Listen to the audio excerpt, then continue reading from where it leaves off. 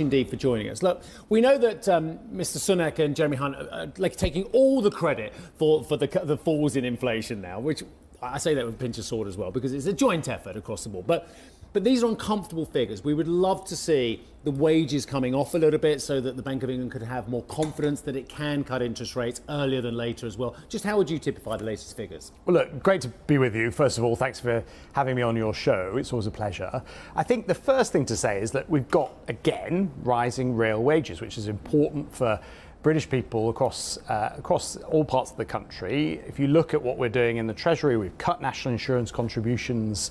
Uh, and we're, we're increasing the national living wage. So we're putting more money in people's pockets, and now we're seeing real wages increase, uh, which will benefit everybody. But clearly, we are still not out of the woods when it comes to inflation. We've gone from a peak of 11% down to 3.4%, but we still have food inflation at 5%. So we're not complacent whatsoever. We have to work, as you said, with the Bank of England, with our central bank, who have the principal lever, which is monetary policy, to ensure that we don't A, exacerbate inflation uh, but B, that we are able to pull policy levers which help complement the work of the Bank of England. This is going to be problematic for the autumn election. I mean, it, if it's not going to be May now, we don't think. Obviously, they've got the local elections. But let's, let's just work on the assumption. You're not going to tell me, so I'm not going to ask. We'll, we'll work on the assumption that we have an autumn election as well as is the case in the United States with their November election as well, and you know this from your time in the city and your time as a politician, it's very difficult for central banks to cut rates at the same time as a general election or a presidential election as well.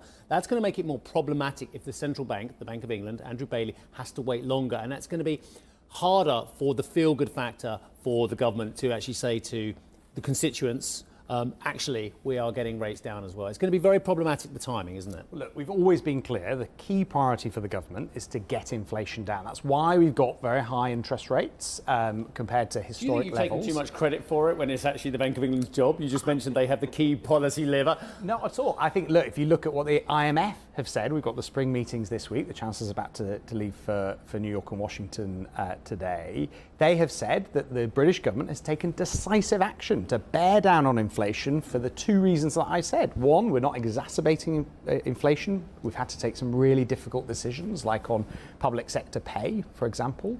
Uh, but secondly, there are policy levers that we have pulled, which the OBR, who adjudicate our uh, figures and our budgets, have said will reduce headline inflation. So if you take our energy price guarantee last year, where we effectively paid 50% of people's energy bills, the OBR were very clear that that would knock about 2% off CPI. So I think I would push back slightly and just, eh, you know, definitely refer you to the IMF, but point to the fact that we have had to take some difficult decisions. We've supported the Bank of England and we've pulled policy levers to get inflation down. That has worked. We're down from 11% of a peak down to 3.4, projected to go back to target this year.